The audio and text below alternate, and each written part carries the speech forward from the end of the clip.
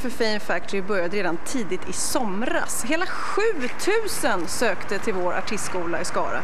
Och till slut så hittade vi de 24 stycken duktiga tjejerna och killarna som skulle bli Fame Factorys nya klass.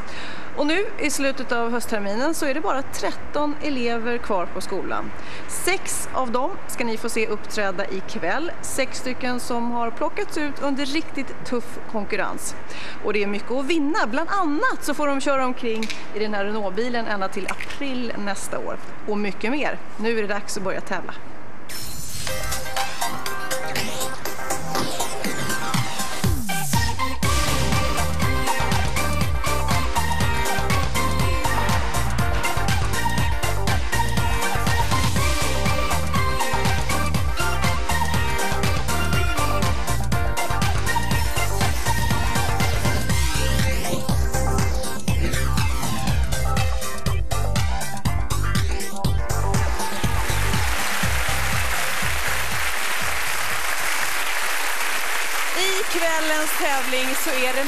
Mycket som står på spel, men de riskerar inte att få lämna skolan som i vanliga veckofinaler.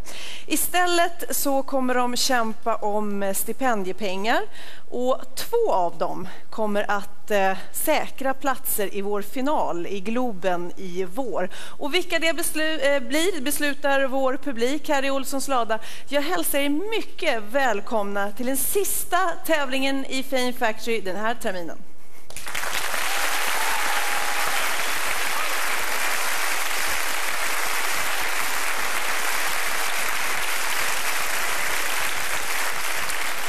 Jag tror nog alla elever som kom till Fame Factory förväntade sig ett riktigt tufft schema. Men kanske inte sån press på veckofinalen och kanske inte så många känsloladdade avsked. Ja, jag tycker att det är dags att bli lite sentimental. Det är nu dags att tala om vilka det blir. Välkommen till Fame Factory. Martina Edoff.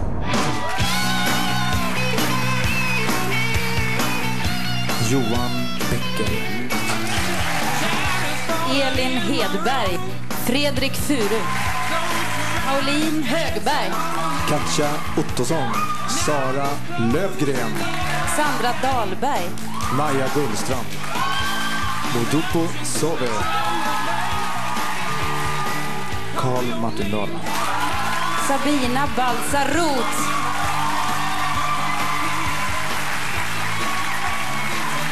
Jag är ofta lite sen med att inse vad det är jag håller på med så jag tror säkert att då kommer det vara som att ja, nu ska jag åka på resa.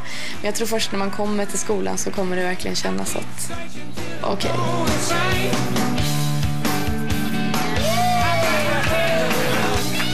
Hej, varsågoda. Det, är- alltså det är ju en helt annan sak att se det i tv-rutan, helt klart. Allt från att se sångpedagogen Monica till eh, rektor Micke Graham. Det är lite så här overkligt. Skolan var som jag hade förväntat mig. Jättemysigt och jättefint överallt och det är ju som en godisfabrik för små barn. Och nu kommer jag att ta in min ryska här alltså. Hej, välkommen. Hon är från Norge, så, men hon är bra ändå faktiskt. Sen har vi Katja. Jag tror att det är en väldigt svår situation för Elena. Att komma in efter en vecka när gruppen har blivit väldigt enad och bara bli inkastad. Är du rädd? Ja, tror att hon känner sig väldigt utlämnad. jag är väldigt rädd måste jag säga. Ja, Helena, hur är det med dig? Det har faktiskt inte varit så bra idag. Får jag reda på att det är någon som är dum emot henne, då vill jag nog påstå att jag kommer att bli elak mot den personen.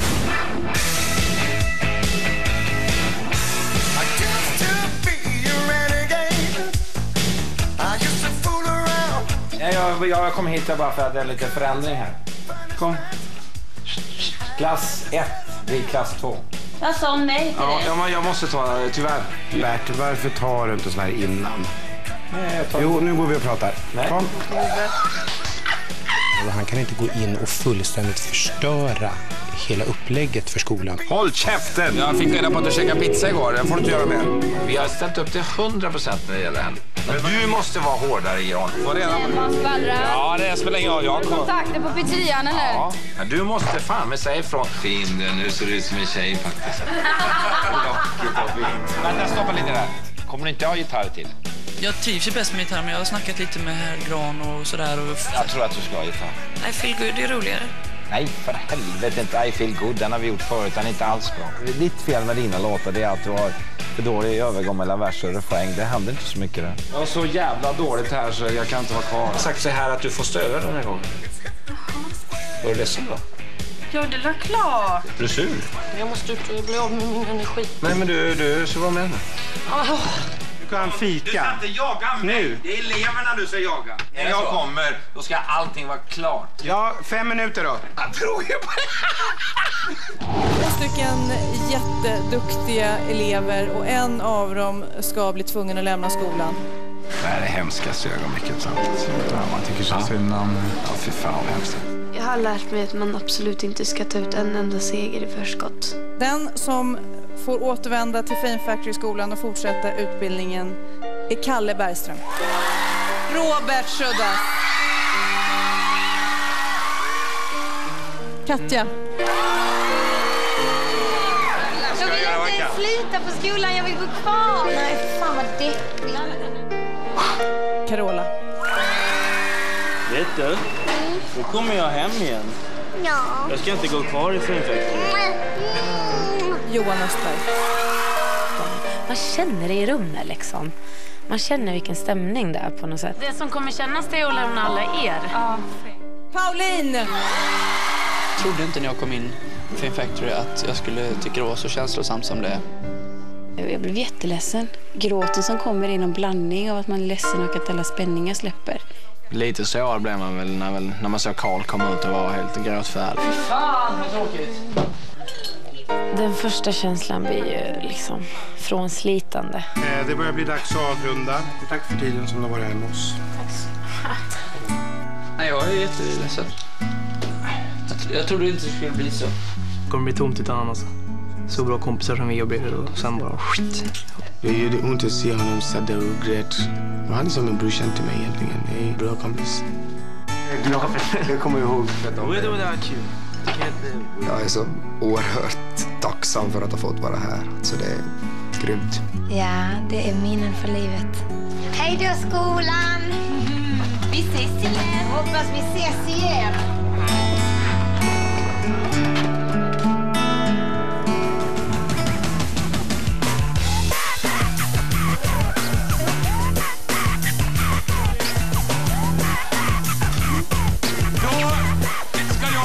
Få presentera kvällens överraskning.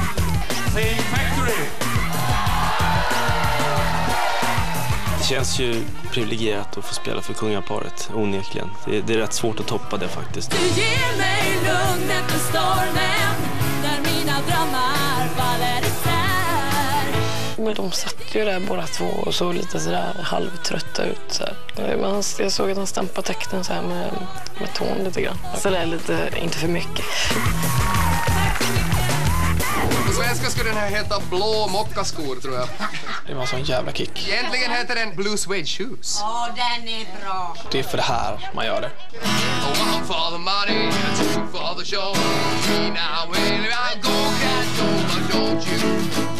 é bola branca.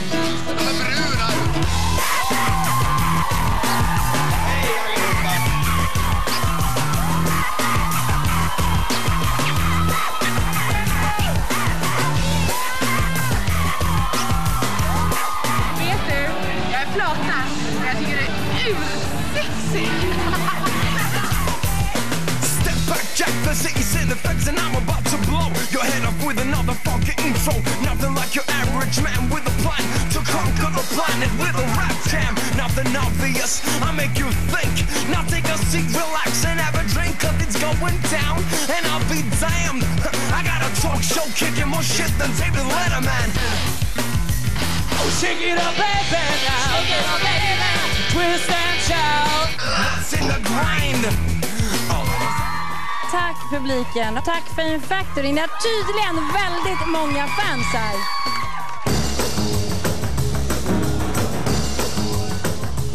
Okej allihopa, är välkomna in i 50-talet. Visst längtar man efter beröring? Så jag passar ju verkligen på att kladda och ta på allihopa i och med lekarna jag anordnar. Vi har ju bara varandra, så det är klart man, hur det än är så finns det någon slags urvalsprincip hos människorna att man måste ha någon där man är.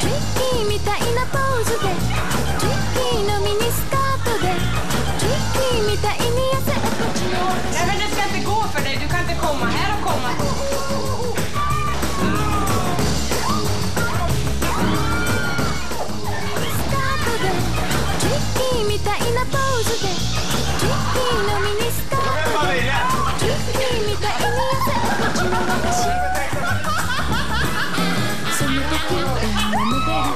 är så skönt. Carola, det är snart din tur. Det var nog fan bland det stelaste jag känt i hela mitt liv. Precis som jag luktade skit alltså. Det är ju helt fantastiskt. Man blir eh, överväldigad liksom. Nej. Så är det ju helt underbart att vi möts där.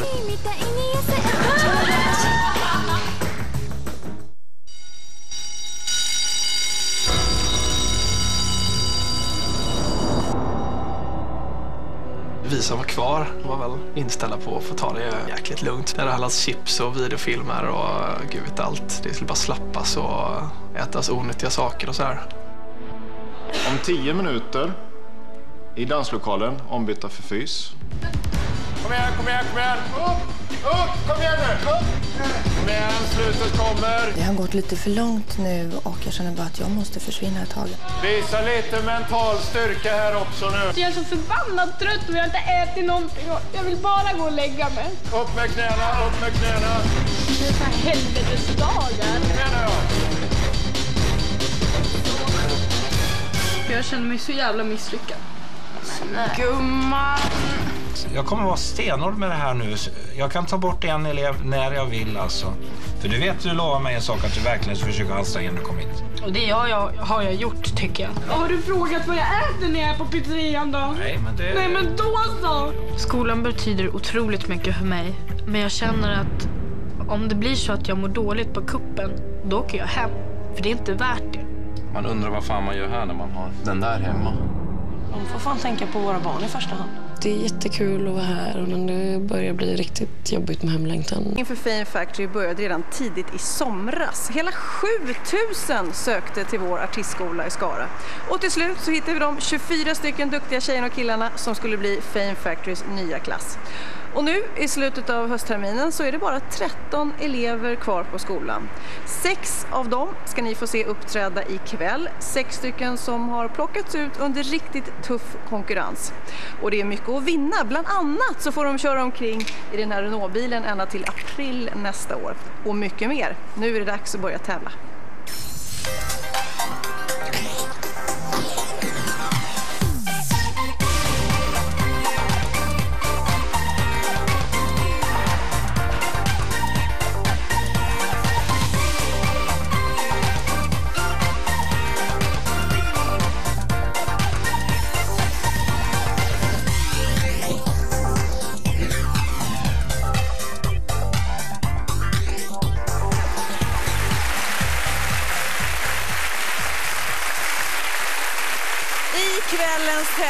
Så är det mycket som står på spel, men de riskerar inte att få lämna skolan som i vanliga veckofinaler. Istället så kommer de kämpa om stipendiepengar och två av dem kommer att eh, säkra platser i vår final i Globen i vår. Och vilka det beslu- eh, blir beslutar vår publik här i Olssons lada. Jag hälsar er mycket välkomna till den sista tävlingen i Fame Factory den här terminen.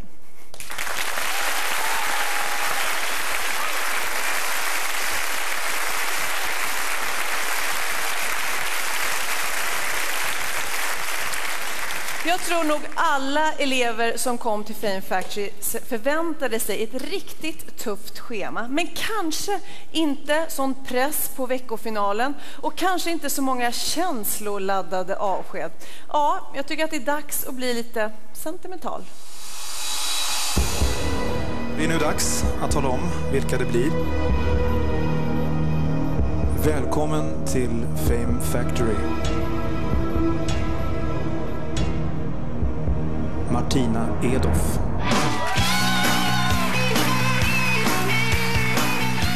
Johan Becker. Elin Hedberg. Fredrik Furu. Pauline Högberg. Katja Ottosson. Sara Lövgren. Sandra Dahlberg. Maja Gullstrand. Modupo Sove. Karl Martin Dahl. Sabina Baltzar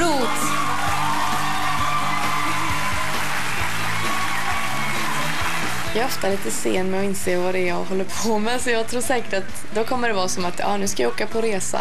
Men jag tror först när man kommer till skolan så kommer det verkligen kännas att okej.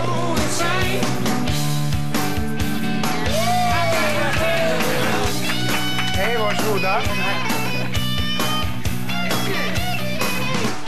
Det är, alltså det är ju en helt annan sak att se det i tv-rutan, helt klart. Allt från att se sångpedagogen Monica till eh, rektor Micke Graham. Det är lite så här overkligt. Skolan var som jag hade förväntat mig. Jättemysigt och jättefint överallt och det är ju som en godisfabrik för små barn. Och nu kommer jag att ta in min ryska här alltså. Hej, välkommen. Nej, Hon är från Norge, så, men hon är bra ändå faktiskt. Sen har vi Katja. Jag tror att det är en väldigt svår situation för Elena. Att komma in efter en vecka när gruppen har blivit väldigt enad och bara bli inkastad. Är du rädd? Ja. tror att hon känner sig väldigt utlämnad. Jag är väldigt rädd måste jag säga. Ja, Helena, hur är det med Det har faktiskt inte varit så bra idag. Får jag reda på att det är någon som är dum emot henne, då vill jag nog påstå att jag kommer att bli elak mot den personen.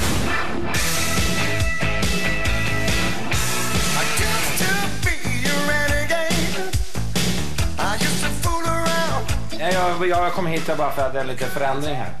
Kom. Klass 1 blir klass 2. Jag sa nej till Ja, det. ja, men jag måste ta det, tyvärr. Bert, varför tar du inte sån här innan? Nej, jag tar Jo, nu går vi och pratar. Nej. Kom. Han kan inte gå in och fullständigt förstöra hela upplägget för skolan. Håll käften! Jag fick reda på att du käkade pizza igår. Det får du inte göra mer. Vi har ställt upp till 100 procent när det gäller henne. Men du måste vara hårdare, Jan. Få reda på.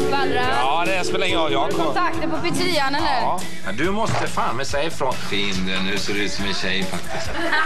Lockigt och fint. Vänta, stoppa lite där. Kommer du inte ha gitarr till? Jag trivs ju bäst med gitarr, men jag har snackat lite med herr Gran och sådär. Och... Jag tror att du ska ha gitarr. Nej, Feel Good är roligare. Nej, för helvete inte. I feel good. Den har vi gjort förut. Den är inte alls bra. Ditt fel med dina låtar det är att du har för dålig övergång mellan vers och refräng. Det händer inte så mycket där. Jag har så jävla dåligt här så jag kan inte vara kvar. Jag har sagt så här att du får störa den här gången. Var du ledsen då? Ja, det var klart. Är du sur? Jag måste ut och bli av med min energi. Nej, men du, du ska vara med nu. Du kan fika. Du ska inte jaga mig. Nu. Det är eleverna du ska jaga. När jag kommer, då ska allting vara klart. Ja, fem minuter då. Jag tror ju på Två stycken Klarar mig bland de fyra. Definitivt. För de fyra som då får högst poäng av vår jury kommer alltså kamma hem ett stipendium. Så det är mycket som kommer hända under kvällen. Det här får ni ju inte missa, så vi ses strax.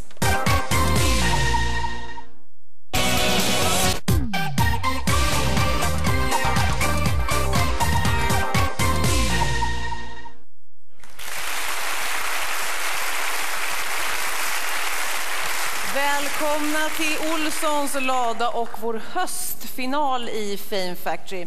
Och för er nytillkomna tittare så tänkte jag berätta lite igen om upplägget för ikväll. För ikväll så riskerar ingen av våra sex tävlande elever att åka ut från Fame Factory. Istället så tävlar de om stipendiepengar och två platser i vår stora final i vår där vi kommer att kora den totala Fame Factory-vinnaren. Eh, de fyra tävlande som får högst poäng av vår jury ikväll, det är de som får stipendiepengarna. Och eh, de tre som får högst poäng, ja, de får plocka fram sina extranummer. Alltså tre stycken idag får spela extranummer. Och publiken bestämmer då här i Olssons lada vilka två det blir som då garderar platser i den stora finalen. Och hur mycket stipendiumet blir? Ja, det beror lite på faktiskt hur eleven har skött sig under terminen. För det är poängen som de har fått i veckofinalen av juryn, det är det som lägger, eh, bestämmer hur mycket stipendiumet blir. Varje poäng är 1000 kronor. Så har man då samlat ihop 100 poäng så är det 100 000 kronor. Inte dåligt, så jag tänkte faktiskt nu innan att vi kikar lite på hur många poäng de har samlat på sig, hur mycket pengar det är på spel med andra ord. Här ser vi då att Pauline, hon har 50 poäng.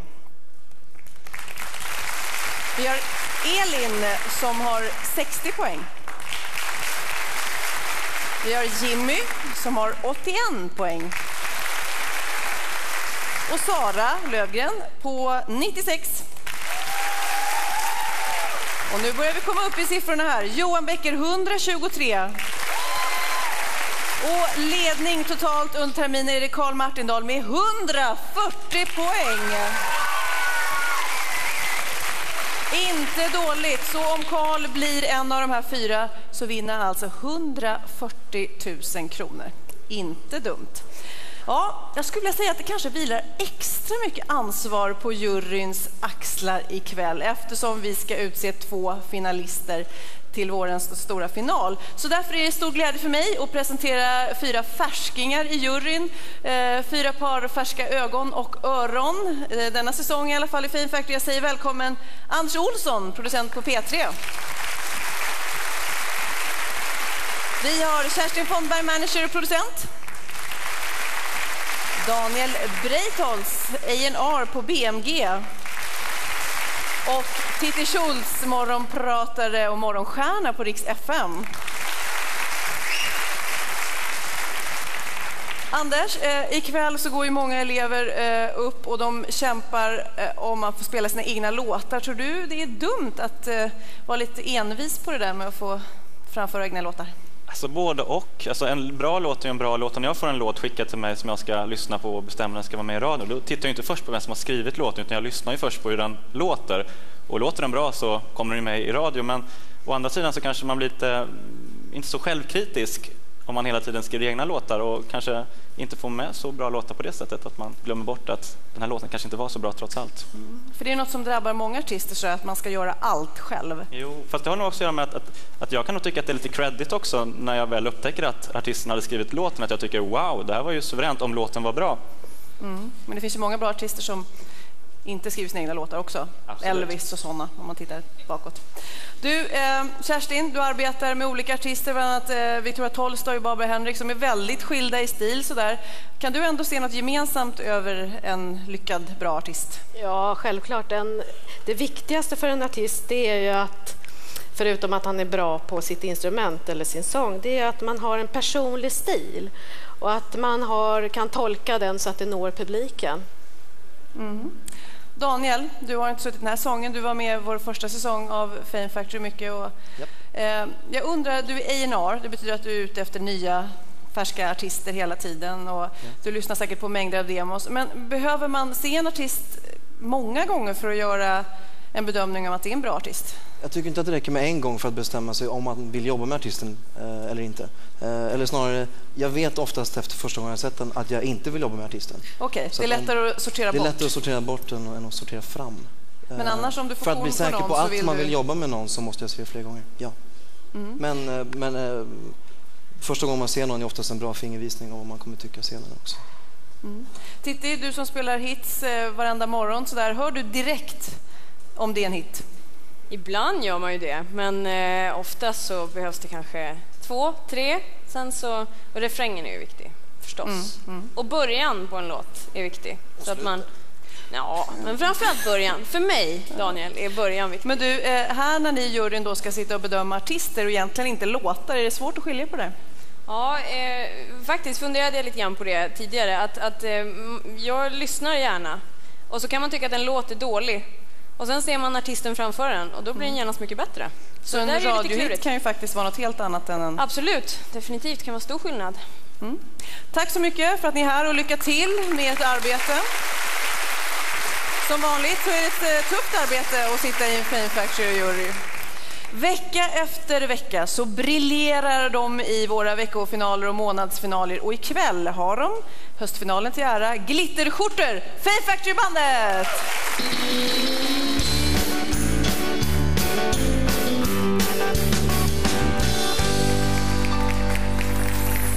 Vad tjusigt! Nu eh, kvällens första tävlande. Ni kommer alltså få se sex Fame Factory-elever ikväll. Den här killen, ja, han är den som har hittat det där eh, hemliga magiska receptet på att skriva hits. Och för er tittare som följer och hejar på er landsman hemma i Finland så vill jag bara säga Hennon Haivan fantastinen! Eh, learning to live, Johan Becker.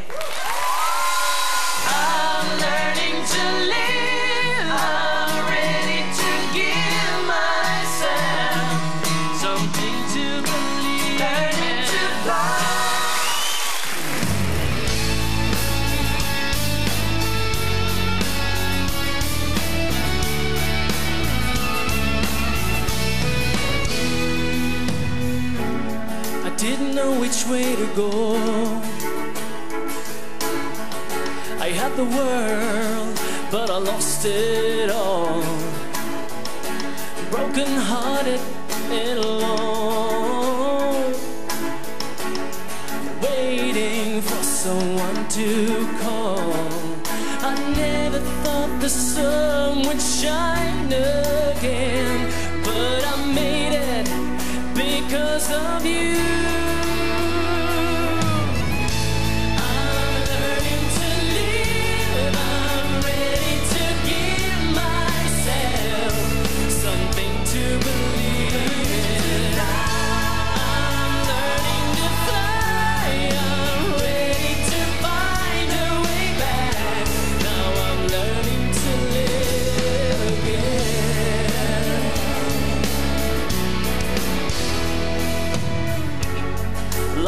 Shelter from the storm. Through the night till the break of dawn, you are there by my side, my friend, standing by. I never thought the sun would shine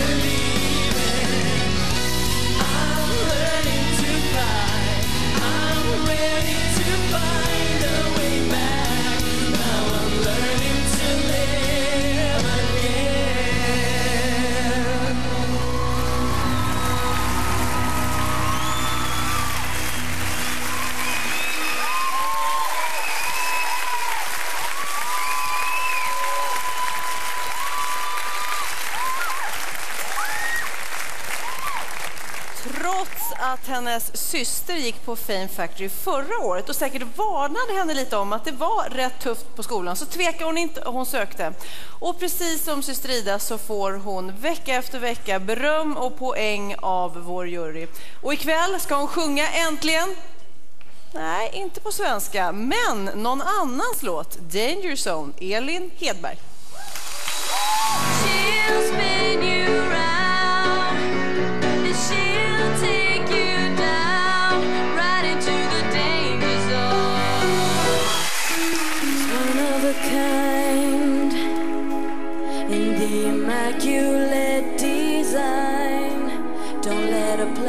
Your mind. Believe me, she will. She's got mysterious ways,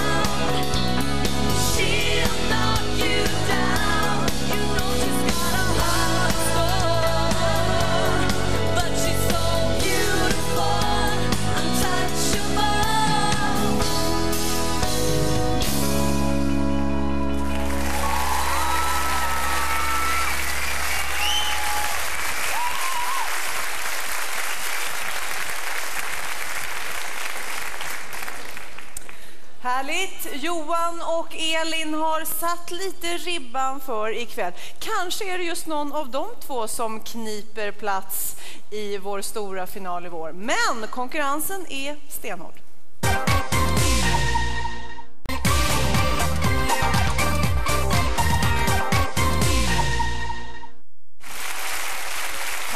Här lada sitter ungefär tusen stycken förväntansfulla i publiken och de har mycket makt ikväll för det är de som beslutar vilka som går till finalen i vår.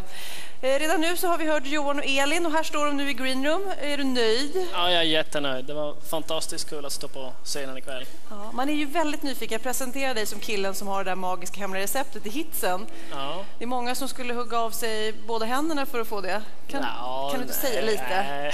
Hur, hur går du tillväga?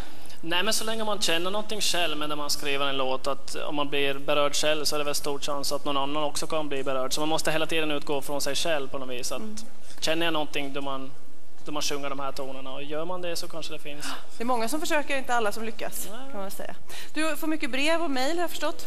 Ja, så att, eh, det är ju jättekul faktiskt. Roligt att höra vad folk tycker och än så länge har det ju bara varit positivt.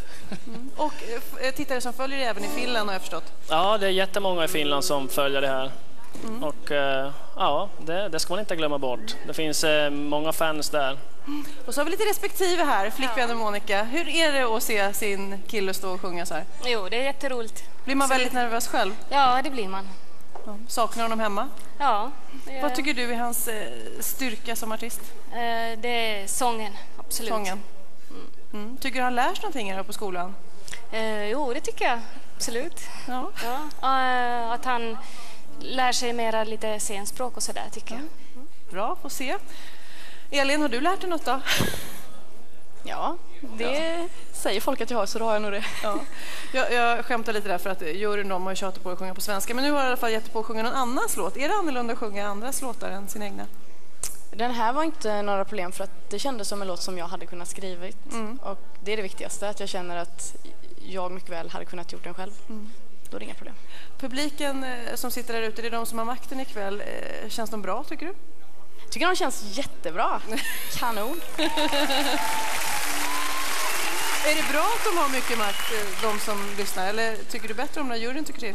Ehm, vad frågar du nu? Ja, tycker, vad tycker du är viktigt att publiken får tycka till? Eller är det viktigt för med att juryn, branschen, tycker? Jag tycker det är bra att det är både och. För Mm. att det är ju inte, det är ju väldigt viktigt faktiskt vad folk tycker också. Det är ändå de som köper skivor och lyssnar. Mm.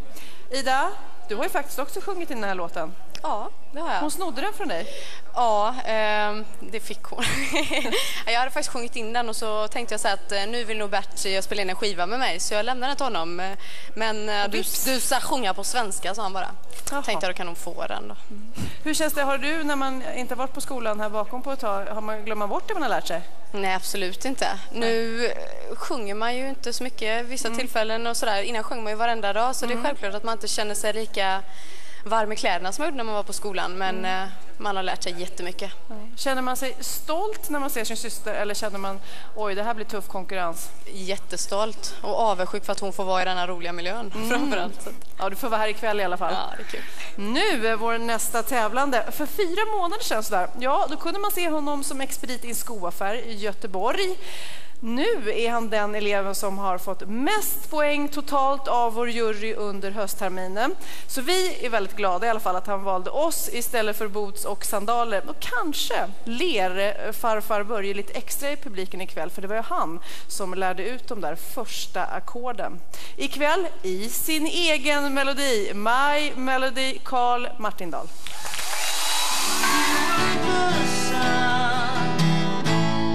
I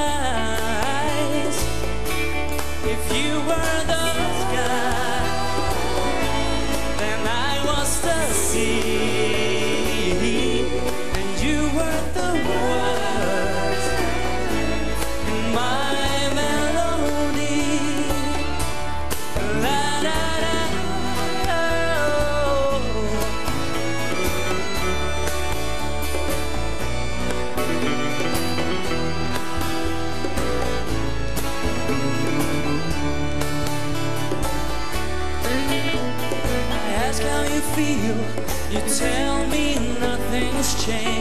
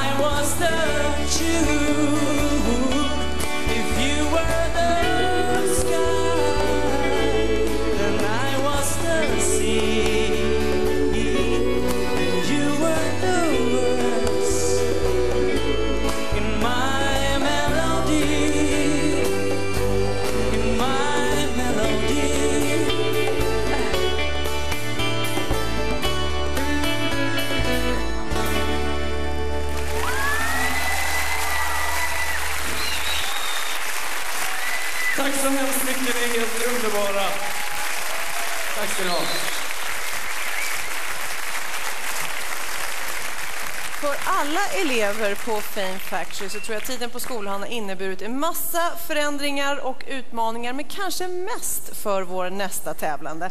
För för första gången har hon provat på att bo hemifrån med allt vad det innebär och hela tiden ska hon tävla och jämföras med äldre, mer erfarna artister. Nu har hon eh, också testat på en helt ny karriär som låtskrivare.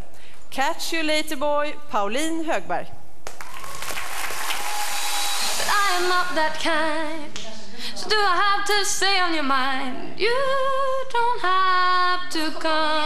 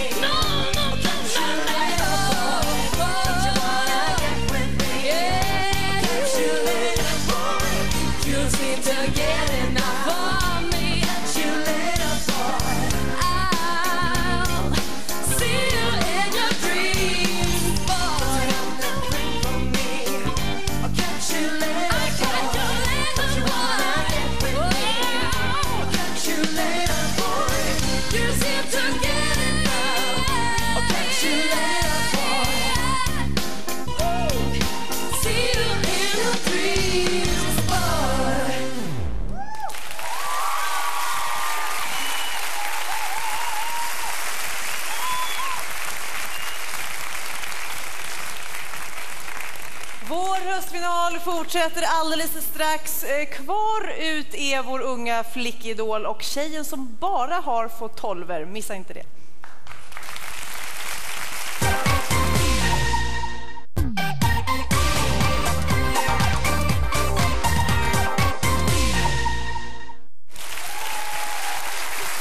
Välkomna tillbaka till vår höstfinal. Här i Green Room står det en massa, ja ni ser rätt coola ut fast ni borde känna er rätt nervösa.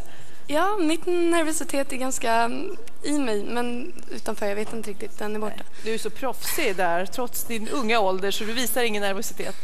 Men eh, det är ju alltså den andra låten jag förstått som du skriver helt själv sådär. Eller med lite hjälp faktiskt, för du Erik har hjälpt till. En aning. Ja.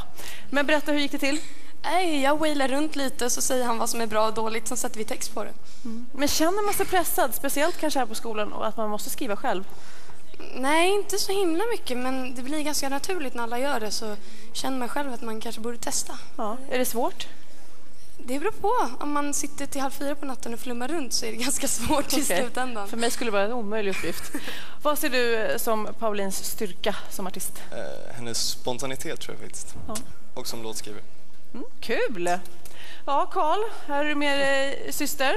Yes. Är du stolt över din bror? Ja, det. Ja. Hur är det här bakom då? Är det som det brukar se ut på TV, tycker du? Jag tycker det är ganska tråkigt att jag inte sitter där ute för då ser man mycket mer. Man ser jag. mer. Så ni vet det där ute, att ni Ja. faktiskt ser ännu bättre än här.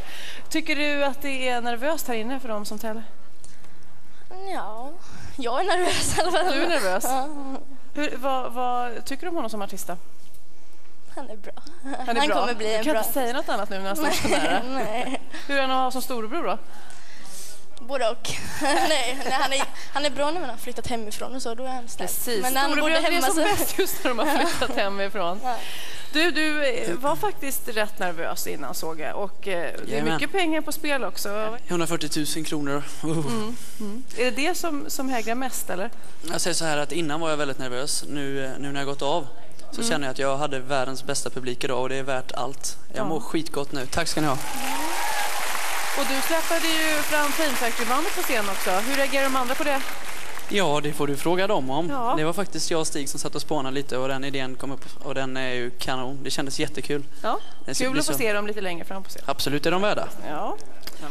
Då ska vi eh, lyssna på en konkurrent till er. Som 13-åring så var han bara 1,40 lång och det var då han spelade in sin första demo. Och kanske var det då också som han första gången upptäckte och släppt ut popstjärnan i sig.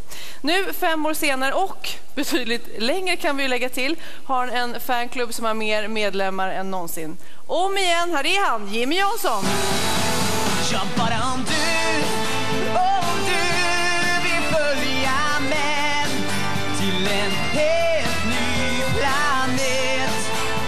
Ska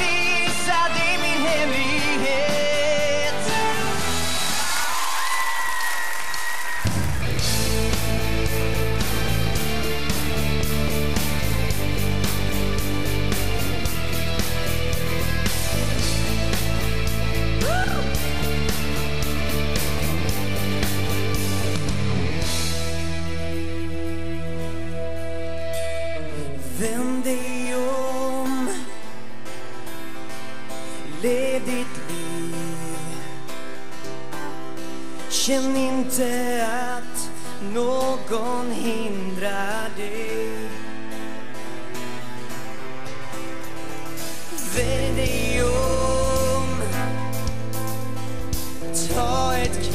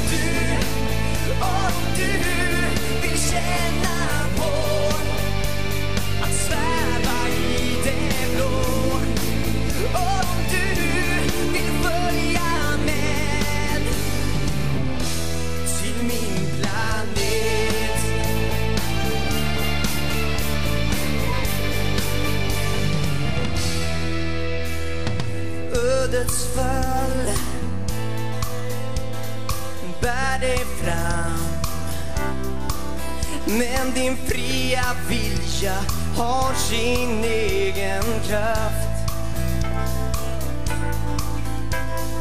Du och jag träffades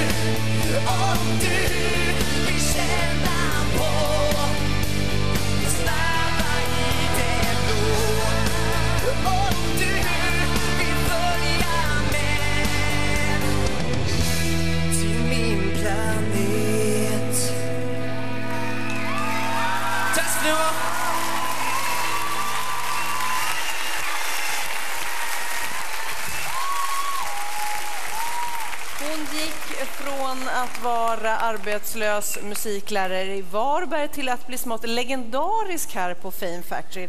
Aldrig tidigare har en elev fått så många tolver så snabbt.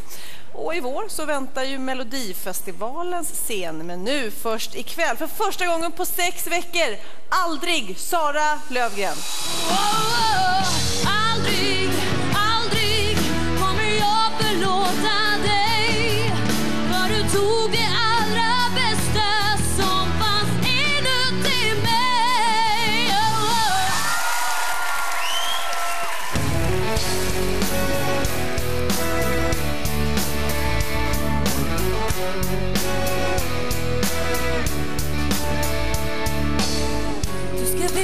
inget kan förbättra det du gjort.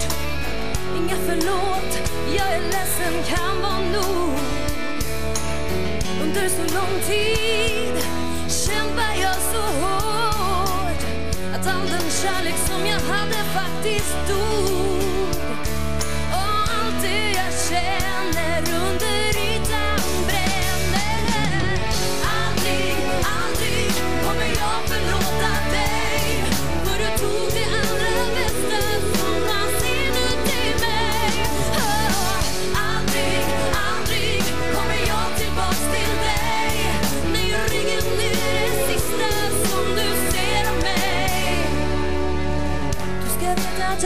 Jag salta tårar för din skull. Kanske i hopp om att du skulle förstå. Men din värld var aldrig samma värld som vi andra levde i.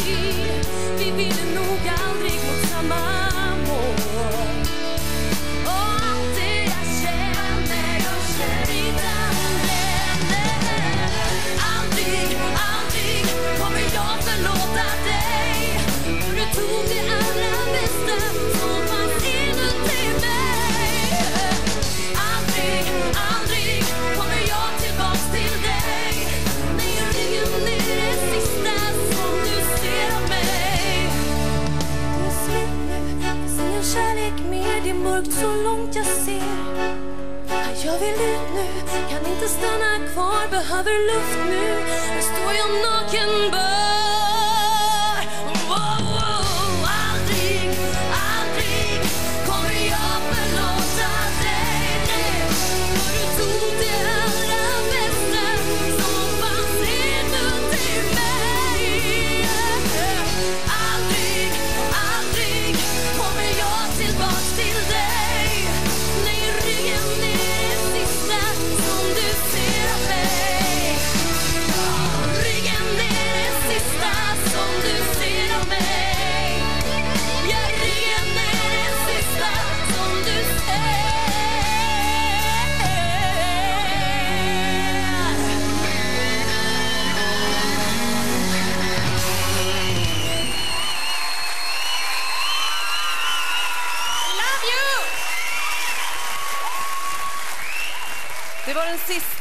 Kvällens sex tävlande, så nu är det bara att säga lycka till till vår jury.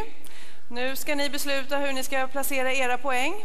Och det är alltså de som med sina eh, poäng som bestämmer vilka fyra som får stipendiumet och sen är det publiken som får besluta vilka två som får finalplatserna. Under tiden så tänkte jag prata lite grann med ja, några elever som inte tävlar ikväll.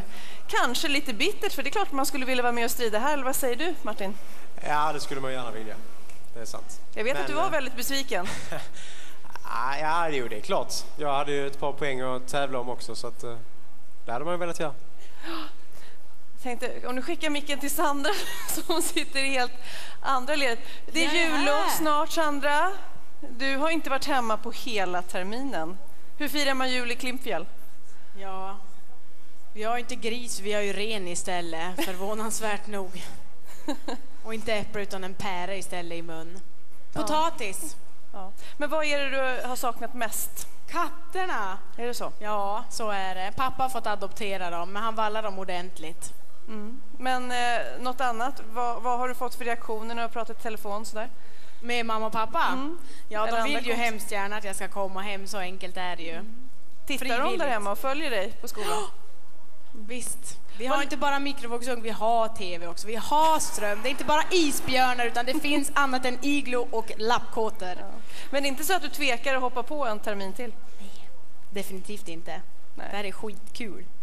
Ja, ni får sitta här som sagt var och njuta i publiken för nu är det ju andra som står för underhållningen ikväll. Nu är det dags för en gästartist, för om någon säger så här jag har varit hemma hos Michael Jackson några gånger och uppträtt, typ när han fyller år och så tror man kanske inte riktigt på det. Om samma person sen är 13 år, har fått eh, skivkontrakt med Motown och släppt en succéplatta, ja, då är det bara att bocka i respekt och säga välkommen till Fame Factory. Blame it on the boogie, J-Kid!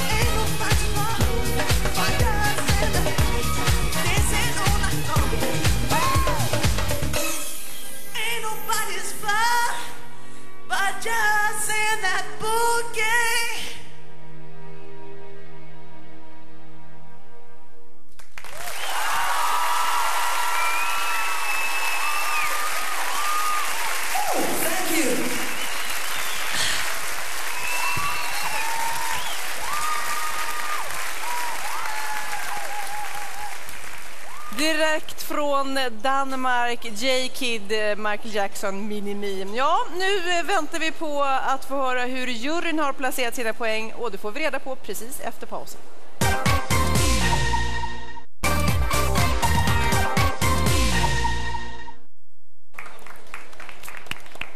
Det börjar dra ihop sig i vår höstfinal. Strax får vi reda på hur juryn har placerat sina poäng.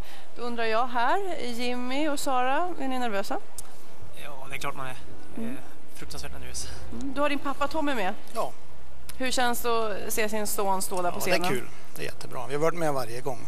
Ja. Men du har varit med också och stöttat hela vägen. Vi pratade om här när han var 13 år och 1,40 lång. Ja, precis. Körde bil och roddade lite grann. Du då som har följt honom, eh, hur såg du det här födas, det här intresset? Ja, jag vet inte. Det var nog från våran del kanske. Jag spelar själv lite grann och så. Mm. Såg du direkt att han hade talang? Ja. Är du själv lite sugen kanske på att gå ett eh, Fame Factory Ja. Senior? Bert får ju ordna det så söker jag ju. Ja, lycka till ikväll. Sara, du är med kompisen Malin som bor i Varberg. Tre- Ser du eh, hennes dotter mer än hon naturligtvis? Ja, det gör jag nog. Mm. Saknar du mamma? Ja. Saknar du Sara? Ja, jättemycket. Vad brukar ni göra tillsammans? Allt. Sitter jag på, ha, se på Cityakuten, ligga i mysbyxor, äta Twix. Okej. Hur känns det att se henne i den här rollen då med glitter och på scenen? Ja, det, är, hon, är helt underbart. Hon har blivit jätteduktig och hon ser jättebra ut nu. Hon har blivit Är det samma Sara? Det är gamla Sara, från när vi var små. Okej. Du, kom, du tror inte hon kommer komma tillbaka här och vara värsta stjärnan och inte riktigt känna igen folk? Och... Nej, hon står med båda fötterna på jorden. Okej. Tror man på det? Ja, absolut. Sex veckor sedan sist, kände du dig ringrostig på något sätt? Ja, lite grann. Det känns konstigt. Det känns konstigt att stå längst fram, tycker jag. Och det är mycket pengar på spel. Vad skulle det betyda för dig att vinna? Eh, bättre ekonomi kanske. Jag ska ju köpa den där nya gitarren då, så jag har ju redan fått lite pengar så det är inte det som är det viktigaste idag. För du har betalat ett direkt högt pris ändå för att vara på Fame Factory. Nämligen att du lämnar din dotter hemma Mm. Eh, tror du det går att kombinera ett liv som artist och mamma? Ja, jag har börjat eh, gå upp för mig att det är ganska svårt att hitta den balansen. Eh, Så jag får väl får jobba på det och prata med, med de som har programmet och sådär så man får, man får regelbunden hemgång då. Mm. Det går ju att kombinera, man har ju sett folk göra förut, men det är nog ett himla pussel. Ja, ehm, vi har nu hört då våra sex höstfinalister. De har gett sitt allra, allra mesta och efter tio veckors utbildning på skolan så kanske det är just det här ögonblicket de har väntat på. Juryn ska fördela sina poäng och då beslutar de vilka fyra som får stipendium. Därefter får de tre som har fått högst poäng av juryn plocka fram sina extranummer. Och då tävlar de inte om att behålla sin plats på skolan utan istället kommer två av dem, de som publiken gillar mest, att få en plats i den stora finalen i Fame Factory. Livet kommer ändras rejält för de två som vinner plats i finalen. Men innan eh, vi får reda på juryns poäng så tycker jag vi tittar lite hur det har sett ut på scenen under kvällen.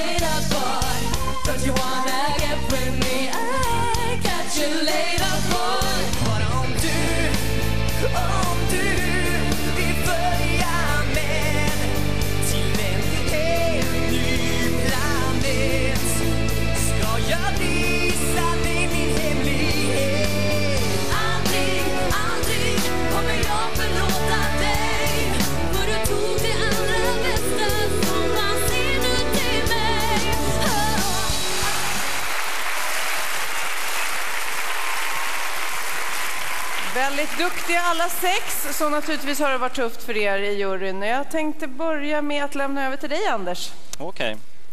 Eh, Då börjar jag med mina sex poäng som går till en artist som vet vad det är som krävs uppe på scenen och har en röst och är väldigt självsäker. Men det känns som att låten idag inte riktigt får den här artisten att lysa riktigt, riktigt klart på stjärnhimlen. Mina sex poäng går till Carl Martindal. Ah, Karl får kvällens första poäng. Mina åtta poäng går till en artist som eh, när eh, artisten lägger sitt huvud lite på sne och blickar ut över publiken så fångar han alla tjejerna i publiken. Det känns som att han har börjat hitta sin plats på scen, men fortfarande känns ändå, tycker jag, några movesen av det han gör på scen lite överdrivna. Eh, och det är nog dags för honom att bestämma sig vad är det han vill göra för musik. Idag var det en salig blandning av dansband, Robbie Williams och lite Thåström. Mina åtta poäng går till Jimmy Jansson. Jimmy får åtta poäng. Och mina 10 poäng går till en artist som har en tonsäker röst och ett leende som får mig att eh, bara vilja höra mer av den här artisten. Eh, jag blir glad och låten, om den släpps på skiva, kommer nog gå en hel del på repeat hemma hos mig i alla fall. Så mina 10 poäng går till Johan Becker. Johan Becker 10 poäng. Supergrattis och då är man ju jättenyfiken på tolvan. Och slutligen då mina 12 poäng. Eh, det går till en artist som verkligen lyckats kombinera låt, röst och scenuttryck. I mina ögon är den här artisten redan en fulländad artist och är självklart välkommen till Catchy Fan Club i P3 och bli intervjuad. Tidigare så har hon blivit jämförd med Eva Dahlgren, men jag tycker att eh, den här artisten är mycket, mycket roligare och fräschare och kaxigare än vad Eva är. Och jag vill inte bryta den här fina sviten med 12 år, så mina 12 poäng går till Sara Lövgren. Åh, vad roligt! 12 poäng till Sara som då går upp i ledningen framför Johan och därefter Jimmy. Ja, nu är det du Kerstin. Mm. Sex poäng det ger jag till en elev som har visat sig ha väldigt stor potential som både sångare och låtskrivare. Men tyvärr, den här låten ger inte, visar inte alla hans kvaliteter. Men han har en härlig röst, han har en snygg frisyr och han har ett fint leende. Sex poäng till Carl Martin Dahl. Carl Martin Dahl, ytterligare sex. Åtta poäng. Här hände det nämligen massa från genrep till konserten. En känslig nerv, bra röst, stadig blick och låten den blir bara bättre ju mer man hör den. Åtta poäng till Elin Hedberg. Elin, åtta poäng. Där försvann den nollan.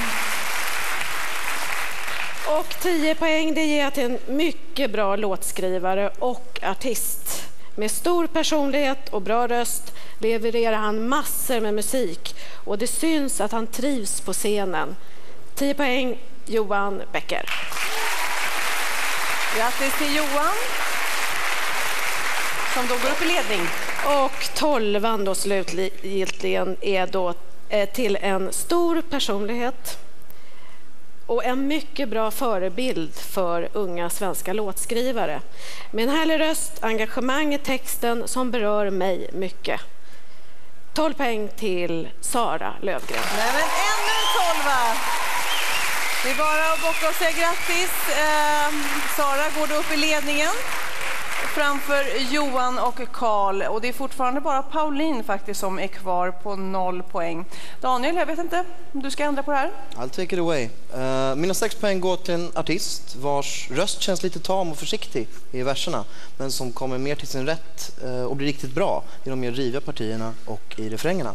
Uh, jag såg genrepet tidigare idag med samma artist och var faktiskt inte ett dugg imponerad efter det. Eh, riktigt besviken.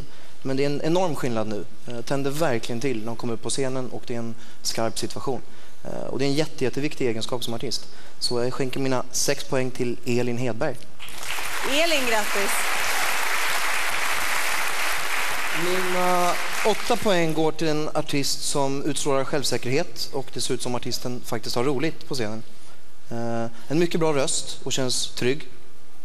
Arrangemanget dock tycker jag istället för att jobba för artisten i den här låten jobbar mot artisten.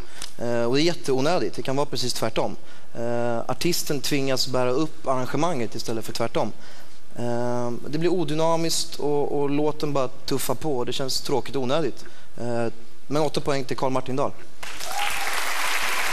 Hårda ord, men ändå poäng till Karl Martindal. Mina 10 poäng går till en artist som utstrålar positivitet eh, och mycket värme. Och den här artisten har något jättespeciellt också. När artisten ler så ler jag också. Och, och det är en egenskap som inte många har. Eh, han känns lite obekväm i början av sitt nummer. Eh, men mot slutet så han tillåter sig att leka lite med sin röst och, och med sitt minspel så, så blomstrar ut och blir riktigt, riktigt bra. 10 starka poäng till Johan Becker. Johan Becker, ännu en tia. Och snor första platsen från Sara. Med en jätteläcker stark röst med jättestor karaktär. Eh, en artist som känns genuin och trovärdig. Eh, uttrycken i ansikte och i kroppsspråket i samspel med sättet som artisten använder sin röst gör att jag verkligen tror på vad artisten säger. Eh, jag tycker att det är stjärnglans och star quality från kvällens absolut bästa artist. 12 poäng till Sara Löfgren. Man slutar nästan att bli förvånad nu. Då ska vi ta en liten titt på poänglistan här. Sara då i ledning med 36 poäng, eh, därefter Johan på 30 och Karl på 20, Elin på 14, Jimmy på 8 och Pauline fortfarande på 0.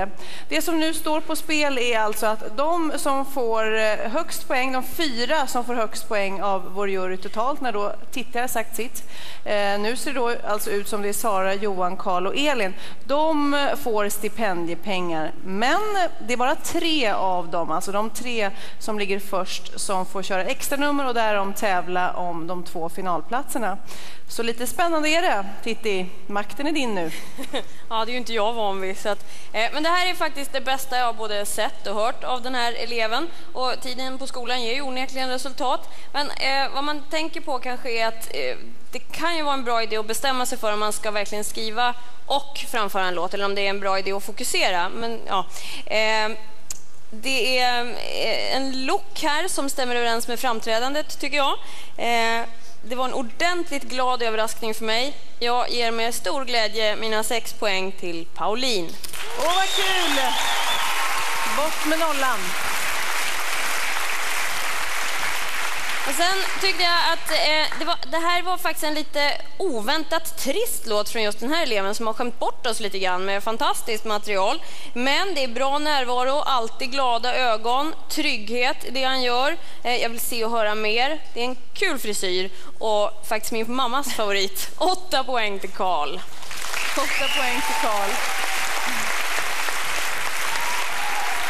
Och så min 10-poängare då. En bra låt att köra bil till, det är viktigt för mig. Och hade jag krossat hjärta så skulle jag definitivt köpa den här singeln. Eh, jag blir danssugen, det händer inte särskilt ofta. Eh, jag sa tidigare också att eh, början på en låt är viktigt för mig och det här, det är en bra början. Säkert en bra början för Johan Becker också, 10 poäng. Johan Becker, grattis! Och det lyser. Folk blir som galna i Olssons lada. Det är nästan en färdig artist där, om man nu kan bli färdig. Eh, tar publiken, en otrolig liveartist. Eh, jag är faktiskt inte säker på att jag köper hela albumet. Men eh, jag ger med glädje min 12-poängare till en tjej som definitivt kan köpa en ny gitarr. Sara får 12 poäng. Ja. Vad kan man säga annat än super, super grattis till Sara som uppenbarligen får alla tolver hela tiden av vår jury. Det blir alltså Sara, Johan, Karl och Elin som får stipendiepengarna. Jag tänker be er komma ut här på scenen och tillsammans eh, med eh, skolans rektor Micke Gran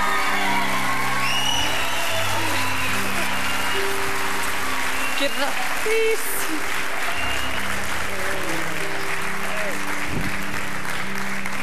Ja, Micke, då tänker jag väl börja prata lite grann med dig. Hur känner du dig förvånad när du fick resultatet här? Nej, det tycker jag nog faktiskt inte. Jag tycker, att, det var, jag tycker att alla gjorde bra jobb och jag tycker att både Jimmy och Pauline också var väldigt lysande. Det var väldigt starkt överhuvudtaget. Är det ofta du tycker tvärtom mot vad juryn tycker? Det händer. Man, man blir ju rätt känslomässig för man ser ju så mycket av eleverna hela tiden. Så Mm. att man följer ju liksom deras eh, framsteg och man vet ju mycket mer om eleverna kanske vad juryn. Så ibland så kan man tycka att utifrån det man själv vet så kan man tycka att juryn är orättvis eller Mm. att de inte kan se det. Liksom. Vad betyder det för de två som sen kommer bli klara för finalen? Vad tror du betyder för dem att, att få en plats där direkt? Jag tror att det är, de kan ju slappna av lite, vet att de går direkt och sen så blir det väl lite, lite annorlunda arbete också för dem under våren. Mm. Jag ska låta dig dela ut de där glada kuverten. Vi har 60 000 till Elin.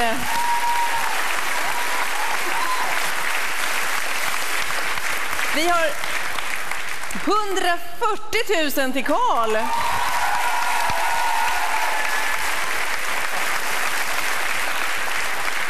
Och vi har 123 000 till Johan. Och 96 000 härliga pengar till Sara.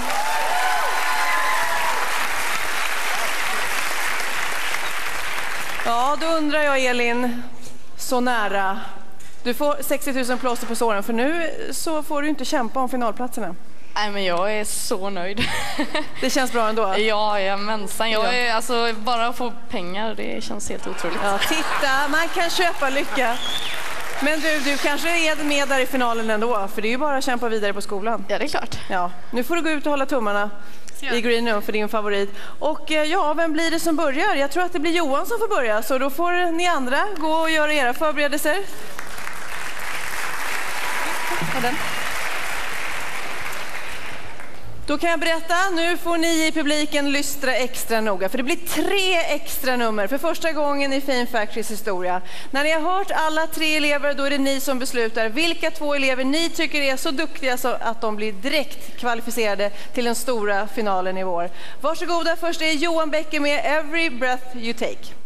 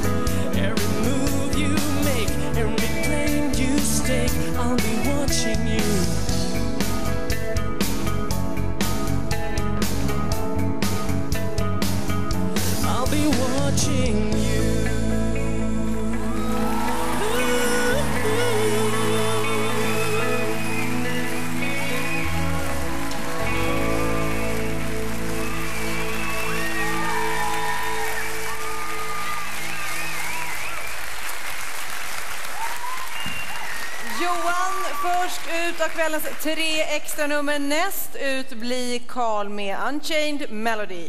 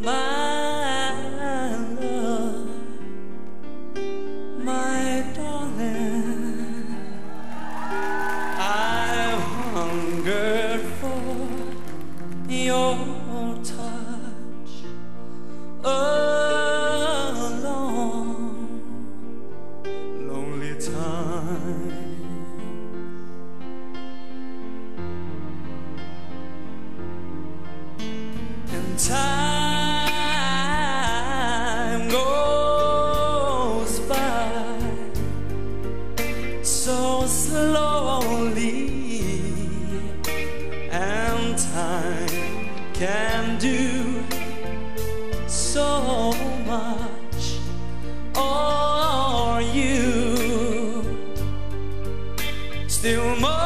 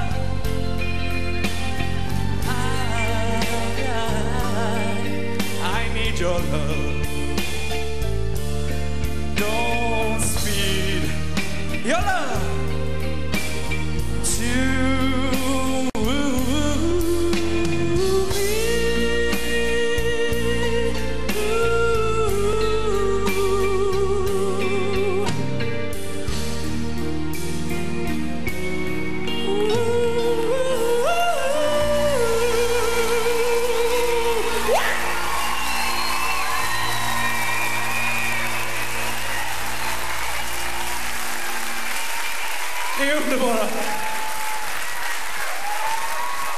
Då tackar vi Karl. Och sista extranumret blir då kvällens enda tjej när det gäller extranummer och hon väljer att sjunga Son of a preacher man. Sara Löfgren.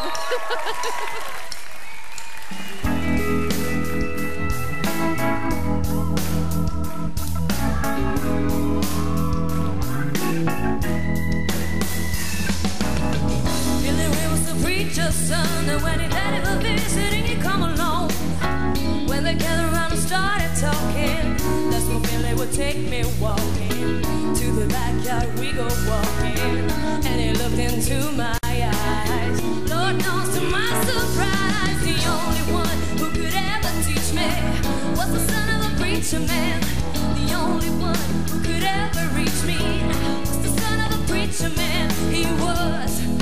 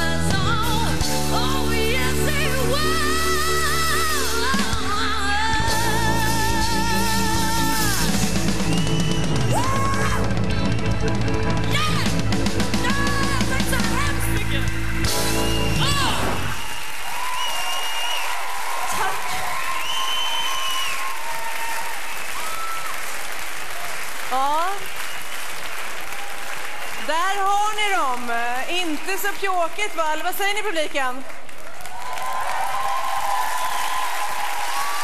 Nej, de är superduktiga alla tre, men tyvärr är det nu bara två som vi ska plocka ut till hjälp av er publiken. Två stycken som då får en plats i vår stora final i vår i Globen när vi ska ko- kora den totala Fame Factory-vinnaren. Är ni beredda? Jag förstår att det mumlas lite grann här. Ni ska kolla läget med varandra, men lyssna på ert hjärta. Då ber jag er Man sitter spänd från klockan åtta på morgonen när man stiger upp. Och så man laddar och man är spänd och man är nervös och man är nervös och så går man på genrep och man får smink och man får kläder. och allting ska matcha ihop och du får massa direktiv alla varv och man är nervös och så går man på genrep och man får smink och man får kläder och allting ska matcha ihop och du får massa direktiv. Av alla lärare som säger gör si, gör så, nu är det för mycket där, nu ska du göra det där. Och tänk på det och du vet vad vi har sagt. Och sen fortsätter du, du får äta lite. Och sen ska du gå och bara vänta, vänta, vänta, vänta. Du kommer på scenen, du kör, du sitter och väntar, väntar, ny jurypoäng. Och sen över. Det blir alltså Sara, Johan, Karl och Elin som får stipendiepengarna. Vi har 60 000 till Elin. Just nu känns det för jävligt. Ehm, 140 000 till Karl. jag fick en åtta den första jag fick. Och då kände jag så här, ja, jag kommer bli bland de fyra bästa. Sen fick jag noll, sen fick jag noll, sen fick jag noll. Och då blev jag helt besviken. Det var 80 000 som försvann. Så det känns lite, lite jobbigt. Och 96 000 härliga pengar till Sara. 80 000 rök. Fan! Ta nästa Jimmy känner väl sig mer eller mindre som en loser. Eh, jag tycker han är skitbra. Jag trodde faktiskt att han skulle vinna idag. Sen är det väl så kanske. Jag menar det, han är trots allt bara 18. Han har kanske en, en bit att gå till. Men han har ju... Ingenting är ju... Liksom inga dörrar är ju stängda för honom. Han har ju, han har ju bara allt att få och allt att vinna liksom. Ja, då undrar jag Elin.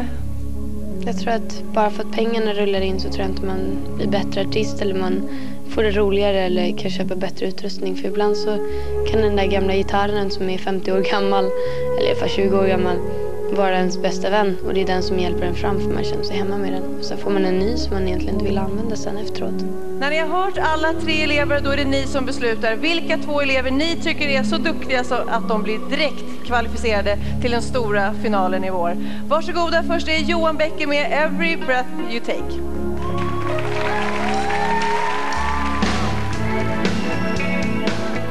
Bara för att jag inte trodde att jag skulle hamna bland de fyra bästa så betyder inte det att jag inte gav 100 procent.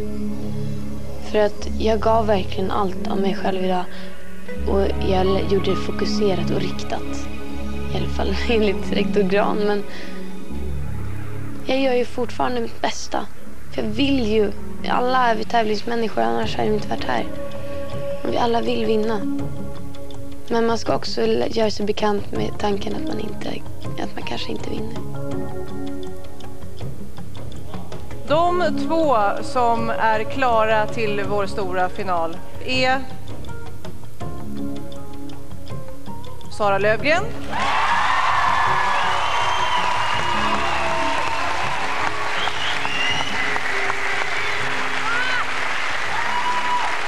Och Karl Martindal.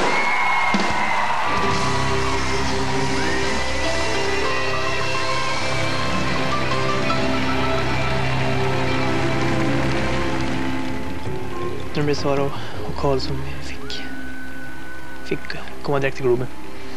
Men jag är glad för deras skull, det är väl alltid kul för dem. Men just nu har jag lite svårt att glädjas över det. Jag tänker bara på mina pengar som rök. Men eh, Ja, vi säger jättegrattis till dem och det ska bli kul att följa deras arbete under våren. Vi säger också självklart grattis till de andra två stipendiaterna. Eh, mycket julklappspengar blir det. Eh, på måndag är det det sista Fame Factory-programmet för i år. Då kan vi titta lite på program... Eh, kan vi se lite glad Ja, men jag är glad. Herregud. Det var bra. Kul. jobbat. Fy fan, nu ringer jag till pappa. Ja. Hej då. Jag förstår bara inte den där sista julkommentaren. Jag tycker i alla fall, och Katja också, har blivit bedömda väldigt mycket precis som alla andra. Mm, Och det är nu i efterhand man kan vara efterklok och förstå att vi är 16. Jag saknar 10 års erfarenhet mot vissa här som är 26-27. 10 års erfarenhet. Det är en helt ofattbar grej att jag, jag är så glad att jag har lyckats hålla mig kvar så här länge för att ja, det visar ändå att jag har någon sorts potential.